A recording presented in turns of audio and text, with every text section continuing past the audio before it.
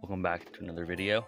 I just wanted to just drop a quick video, and I'm I'm pretty sure you are aware of which day it is today, which is Christmas, and actually as well six days until the end of the year. So I just want to uh, say Merry Christmas from Playscale Soldier Productions. Have a year recap for 2023 coming soon.